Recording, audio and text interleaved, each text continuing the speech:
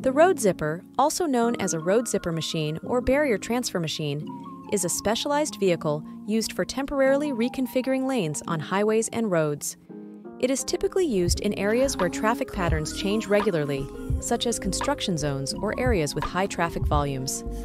The road zipper works by picking up and moving concrete or metal barriers that divide lanes, allowing crews to create additional lanes or shift lanes to accommodate changing traffic patterns. The machine is equipped with a series of arms or barriers that can be extended and retracted as needed to move the barriers into position. One of the key advantages of the road zipper is its ability to quickly and efficiently reconfigure lanes without the need for manual labor or the closure of entire sections of road. This helps to reduce traffic congestion and improve safety for both motorists and construction workers. Overall, the Road Zipper is a valuable tool for managing traffic flow in dynamic environments and is commonly used in construction and maintenance projects on highways and major roads. The Road Zipper's operation is typically overseen by